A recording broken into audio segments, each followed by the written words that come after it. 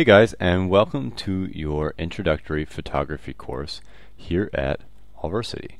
And we're going to start out this entire course. We're going to cover a lot of ground in this course. And this is, though, still a basic photography course, so we really want to start at the very beginning. And for me, the very beginning would mean defining what photography means. So, how about we first take a look at the word itself? Take a close look. You can see as where I put kind of a space here, there's actually a space here between the two words. And this mostly is because I'm got bad handwriting. Um, but if you take a look, you see photo and graphy, two words. And if you're a little bit familiar with English, you've seen this graphy attached to lots of other different words that aren't photo. Uh, but let's take a look at photo.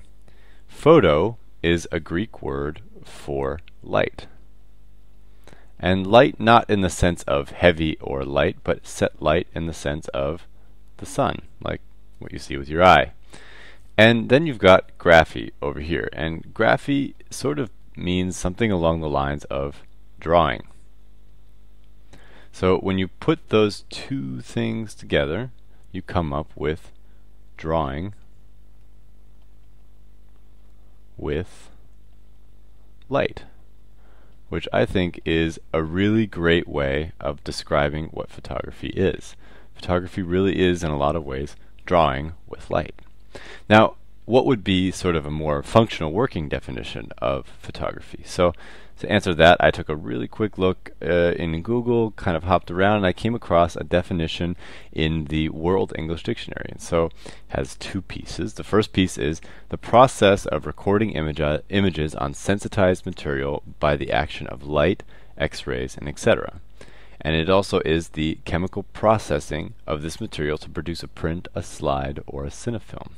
So basically, they're just saying light or some sort of ray, because you notice they said X-ray as well. Light plus film equals photo or photography. Um, now the other definition is basically the act of doing this. So the art or practice, the occupation of taking photographs or making films. So we're just going to say the act of doing that right there. All right, so that is your definition of photography. How about we go take a look at who are photographers? What are the different styles of photography and who are the people doing photography?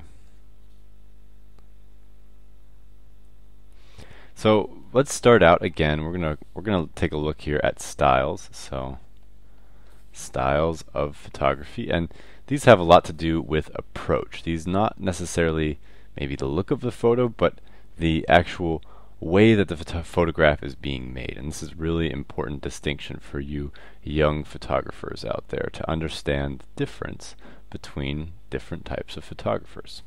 So we're going to just start out by writing them all out. So we've got art photography, we've got documentary photography, and we have got over here commercial photography. And I'm actually going to put one more group over here and we're going to call that the X group because I'll talk about that in a minute. So let's start with the art photographers. Art photography is basically created with the artist in mind. The photographer is then using art or using photography to express themselves. They're using it to somehow push the boundaries of vis the visual world that we're experiencing. So art photography is in many ways about the photographer. Then you've got documentary photography. And documentary photography and this is according to maybe one of the sort of one of my mentors, is about the subject. So you'll also hear this, hear this being called reportage. Um, it has a lot to do with documenting the situation in a sort of as neutral a way as possible and making the story about the doc about the person being documented. It's a report. It's like the way a reporter would work for a newspaper or a magazine or something like that. Now you've also got commercial photography. Now, commercial photography is sort of, it's definitely a very much a growing piece of the photography world. Um, it has had its heydays and it's had times when it's been, it's always been around. But um, in many ways, commercial photography in recent years has also started to blend with these two in ways that it hasn't before. Um, but commercial photography is photography that's being done with a certain customer in mind, and it's often got some sort of advertising component to it. So the the photos are either being sold to a private person who is buying your time as a photographer. That maybe you're shooting a wedding or something like that, so they're paying for you to take photos of that particular thing, or they are paying you to make some sort of image or paying for an image that you made in another style, um, but using it for advertisement. So that's a very important thing. It has a lot to do with promotion. You can think of commercial photography as being sort of promotional photography, maybe. Um, and then we've got this kind of other group over here, which I haven't really defined yet, and I'm not really going to, but the X group is basically people who are using photography to make sort of public record. Um, it's not documentary in the sense it's not really for a magazine or something like that, but maybe police officers or um, salesmen, people like that, who are using photography in their work, but not necessarily in these formats over here. So I'm just going to leave that as the X group. I haven't found it anywhere on the internet, so I'm just going to call not even give it a name. But I just want to make you all aware that that's out there. All right, so you can do all of these different styles of photography in a couple different ways these days. I mean, in the modern world, we have, everybody knows, we have digital photography. So this is the way that most of us are taking photographs these days. But that's actually not that old. I mean, when I was a kid, you didn't have digital cameras. Um, you had film cameras. And so film cameras were how photography was performed for a long time. You also have, and this is kind of comes as a surprise to some people, you also have video. Um, some people are like, wow, video, is that photography? Well, yeah, it's photography. It's just photography that happens to be moving at about 24 pictures per second or so. All right, so how about we go take a look at some different examples of photography. Here we have got Ansel Adams, and Ansel Adams was an American photographer in um, the 19th, or sorry, in the 20th century. And Ansel Adams is sort of your quintessential landscape photographer, and he was shooting that in the style, so like we said before, in the style of an art photographer. Now, sometimes Ansel Adams did the occasional commercial piece or something like that, but in general, he was a landscape photographer who was an art photographer. So landscape was his specialty. It was the sort of the thing that he liked to photograph, his specialty. But he was an art photographer. This photo right here is actually sort of not too controversial, but somewhat controversial because it kind of breaks some of the rules of um, of the documentary um, of the documentary and art photography sort of boundary. It was made by a woman named Dorothea Lange. Dorothea was a photographer, and during the Depression in the United States, it was a time back in the 30s when everyone ran out of money, everyone was very poor, and the government basically went around and hired artists to do projects. Dorothea Lange was sent out with her camera through the United States to take photographs. And this is one of her most famous, probably is the most famous photograph that she ever took, and it's called The Migrant Mother. Now, I'm using this photo as an example of the difference between art photography and documentary photography because you could approach this situation in two different ways if you are Dorothea Lange. You walk up to this woman, you say, uh, Ma'am, is it alright if I follow you for a while and take some photographs of you? And then you would proceed to take photographs while this woman was going about her day. And if Dorothea, or you as a photographer, don't affect this person in any way by trying to make them pose or make them do anything extra for you. If you tell them, don't tell them to sit and put their hand on their chin and look out across the, the prairie, um, then that is a documentary photograph. So if you are trying to document things as they are happening without influencing, and that's really important, or doing the least you can to influence, and you can never really truly not influence a situation. But you do that, then you are basically working as a documentary photographer. That can be art photography, you're shooting in the style of documentary. Now, if you were to walk up to this woman here and say, I'd like to take some pictures of you, and then tell her, well, I'd like you to put your hand on your chin and look out across the prairie, and kids, if you could put your head sort of on her shoulder or behind her back, That'd be great. Thanks. And then take some photos. That would then, in that case, no longer be a documentary photograph. That is, well, I guess you could call it art photography. But it's no longer documentary in the sense that we think of it today. Back in the time when Dorothea Lange was working, the rules about this were there, but they weren't necessarily as strict as they are these days.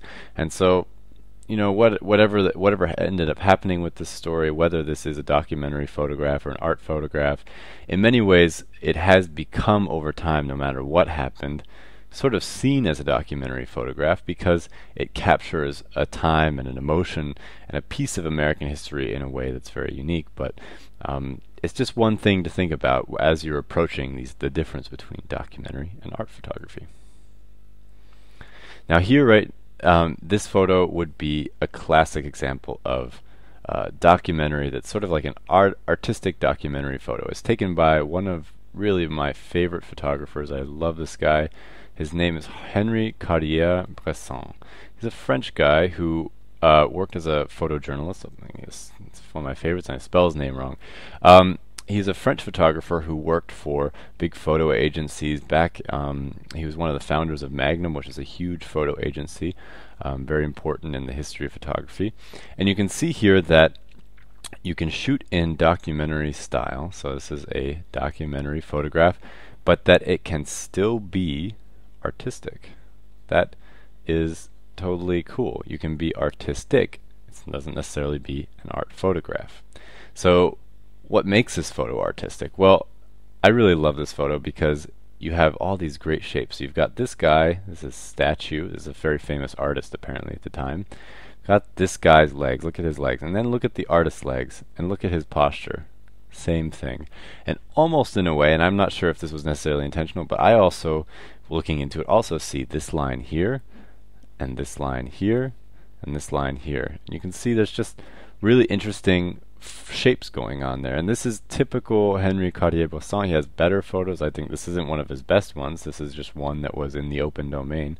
Um, but you just always are seeing this in his work. And a lot of documentary photographers do very artistic work, but they're also doing it in a way that they're not telling the guy, hey, could you go back and walk and do that again and again and again. They just catch it the, the first time that it happens. Now we're going to move into commercial photography. So this is these two things that you're seeing right here are most certainly or often are commercial. So most of the wedding photography that you see, unless you're shooting it as a photojournalist for a magazine or something like that, if you're being hired by the bride or most likely by the bride's father, um, you are working as a commercial photography or commercial photographer. Sorry, Whew, lots of saying photography today. All right. So wedding photography is very often commercial. It can be otherwise, but it's generally commercial. Um, fashion is also a very big piece of commercial photography these days. It's everywhere. It's probably in the Western world one of the types of photography that we see the most.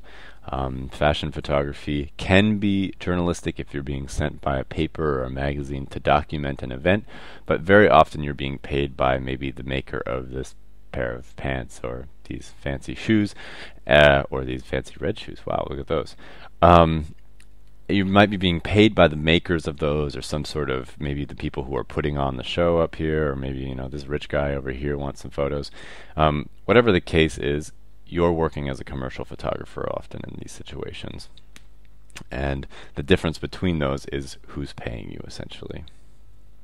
All right, and when you think about photographers, I think a lot of people have a lot of different ideas. What is a photographer? And a lot of times you kind of imagine this guy with this massive lens right here. It's just really ridiculous. Um, you kind of imagine these guys, and in a lot of ways, yeah, those people are photographers. But um, there's lots of different ways of being a photographer. It's always been the case. You have guys like this from back in the day who were doing portrait studios. You have people like this right here, who's um, this is a Turkish photog photographer who does a lot of art photography. She's using a medium format camera here, and um, you have everything in between. You have people who, and you also have people who are outside of the professional world who are just working as amateurs. So there you have it. That was your introduction to the very basics of photography. We're going to move on in the next lesson to the history of photography. Uh, for right now, you can check out more videos at allversity.org.